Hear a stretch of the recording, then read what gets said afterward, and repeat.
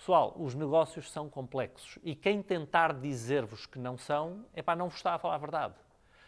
Se, se, se e, e, a vida é igual. Não, não, não, pá, se houvesse fórmulas para a felicidade, fórmulas para o sucesso, fórmulas para aumentar as vendas, para aumentar o lucro, para aumentar os fluxos de caixa, epá, isto era fácil. Todos nós aplicávamos as fórmulas, qualquer miúdo tivesse sido bom aluno num curso de gestão, saía com os alfarrábios dele da faculdade, a gente colocava a gerir a Microsoft e o gajo dizia, pá, cenário A, epá, temos estas cinco alavancas, vamos atuar e tal, por uma isto nunca mais vai para de crescer.